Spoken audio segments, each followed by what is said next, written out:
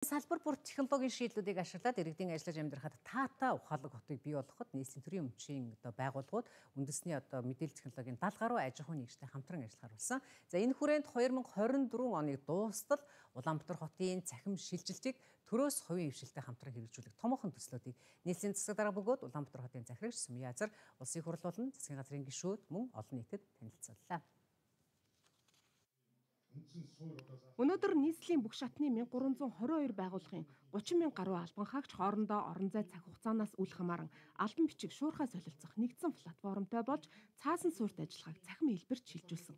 Зөвхөн ERP системийн тусламжтайгаар нэг албан тоотыг илгээхэд шаарддаг байсан цаг хугацаа цаас шуудангийн зардлуудыг халж 2 сая 500 мянган цаасыг хэмнэсэн байна цахим засаглалын хэрэгжилтийг дүгнэхдээ төрөөс иргэдэд үзүүлж байгаа үйлчлэгээний чанарыг иргэдэд одоо чирэглэгүй төргөн шуурхаа хүргэцээ цаашлаад иргэдийн ая тухтай аюулгүй орчинд амьдрах нөхцөлийг нь технологийн тусламжтайгаар сайжруулах түүнийгээ урт хугацаанд хэрэгжүүлж чадаж байгаа эсгээр нь дүгнэдэг. За тэгвэл өнөөдрийн дижитал UB хөтөлбөрийн хүрээнд үндэсний одоо технологийн тэргүүлэгч 70 гаруй компаниуд бүтээгдэхүүн үйлчлэгээгээ сурталчилж байгаамаа.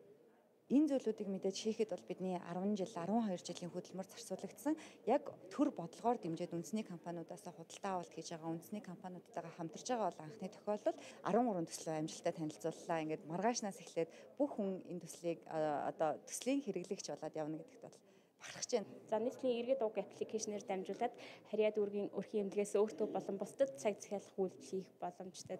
Өрхийн эмнэлгийг дараад оронгууд энэ дээр боломжтой байгаа эмчнэрийн мэдээллийг харуулж байна.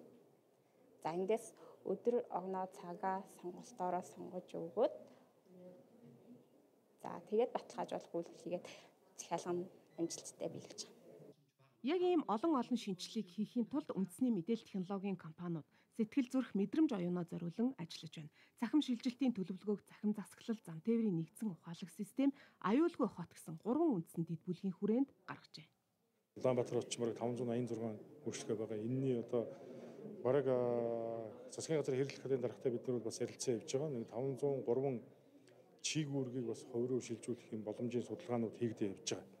Энэ 503 чиг үүрэгдээ үүргийн ард талд бол өстой бас л тоон өгөгдөл яригддаг. Энэ бол 450 орчим тэрбум төгрөгийн эдийн засгийн эргэлт одоо хувийн хвшил рүү буюу төрийн бас байгууллага руу орох юм байна.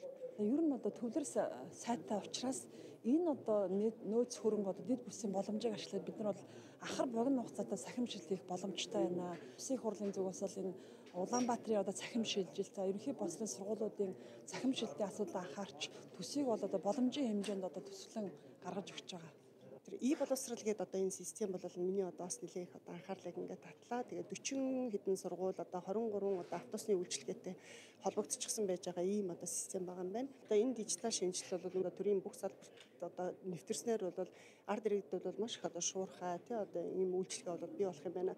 Дэлхийн хотуудын дижитал төлөвшлтийн үе шатыг тав ангилдаг. Манай нийслэл хотын хувьд 2 дугаар үе шат руугаа орж байгаа. Өөрөөр хэлбэл ухаалаг хот болохоор зорьсон дэлхийн 35 мянган хотын нэг. 2024 оны 12 дугаар сар гэхэд Улаанбаатарыг дижитал хот болсныг зарлана гэдгийг хотын дарга онцолж байлаа. Бүх төрлийн одоо бүх үйлчлэгээнүүдийг авах